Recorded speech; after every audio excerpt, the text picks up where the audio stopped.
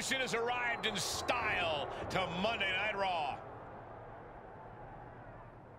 Whoa! Evolution's getting ambushed. They were not expecting this. Walked into the side of the limo. There's broken glass everywhere. We've heard rumors that a new faction was forming to take on Evolution. This must be it. And Bron Breakker's tossed headfirst into the limo. This is pure chaos.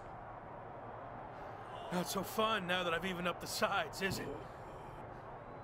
I'm coming for this title, and there's nothing you can do to stop me.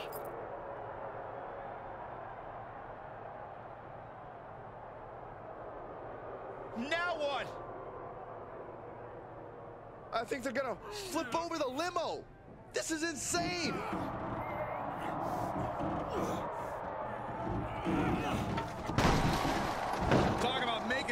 Impact. Evolution, Shawn Michaels, and all of WWE, for that matter, has been put on notice. I can't believe this group that's been assembled. This next month is going to be very interesting.